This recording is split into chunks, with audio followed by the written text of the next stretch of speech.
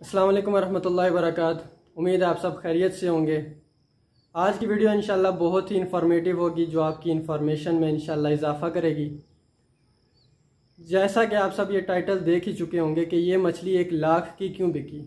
तो इंशाल्लाह मैं आज आपको उसकी रीज़न्स बताऊँगा कि इस मछली को एक लाख का क्यों बेचा गया? इसमें ऐसी क्या ख़ास बात थी कि इसको एक लाख का बेचा गया?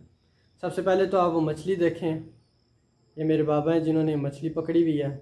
इस मछली का नाम है सुआ मछली। इसको सुआ मछली के नाम से जाना जाता है। तो हो सकता है आपके दिमाग में ये बात आ रही हो कि शायद इसके गोश्त की वजह से या इसके गोश्त में कोई ऐसी ख़ास चीज़ है जिसकी वजह से इसको एक लाख का बेचा गया।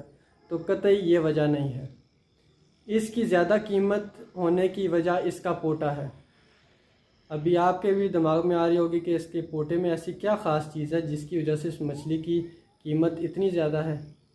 आपको सबसे पहले मैं ये बता दूँ कि इस मछली के पोटे से सर्जिकल थ्रेड्स बनाए जाते हैं, जो कि बॉडी में किसी भी किस्म की सर्जरी हो या फिर अमूमन ये हार्ट सर्जरी के लिए इस्तेमाल किए जाते हैं। अभी सवाल ये है कि इन सर्जिकल थ्रेड्स को इस्तेमाल करने का बेनिफिट क्या है?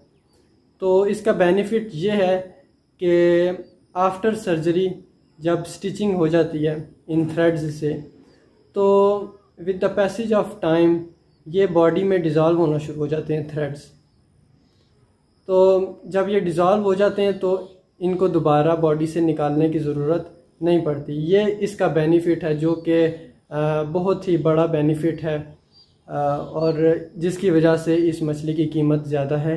और मैं आपको यह भी बता दूँ कि जैसे जैसे इस मछली का वेट ज़्यादा होता जाता है वैसे वैसे इस मछली का पोटा भी बढ़ता जाता है और जैसे जैसे इस मछली का पोटे का, इस मछली के पोटे का वेट बढ़ता जाता है वैसे वैसे ही इस मछली की कीमत भी बढ़ती जाती है, जिसकी वजह से ये मछलियाँ बहुत ही महँगी होती हैं। तो इसके साथ साथ मैं आपको यह भी बता दूँ कि इस मछली के पोटे से और भी मुख्तलिफ़ किस्म की मेडिसन्स वगैरह भी बनाई जाती हैं। और यही दो रीज़न्स हैं जिसकी वजह से ये मछली इतनी कॉस्टली होती है और इतनी एक्सपेंसिव होती है। तो ये तो अभी कुछ भी नहीं ये तो एक लाख की मछली है। इसके अलावा लोगों ने मुख्तलिफ़ रेट्स की बेची किसी ने चालीस लाख की, साठ लाख की भी। और मुख्तलिफ़ रेट्स में ज़्यादा से ज़्यादा बिक सकती हैं ये मछलियाँ। और ये अमूमन थोड़े ही बंदों को मिलती है। ये कोई किस्मत वाला ही हो जिसको मिलती है। तो उम्मीद है आप सबको ये वीडियो पसंद आई होगी। दुआओं में याद रखिएगा। जजाकम्ला खैर। अल्लाम वरहमल वर्का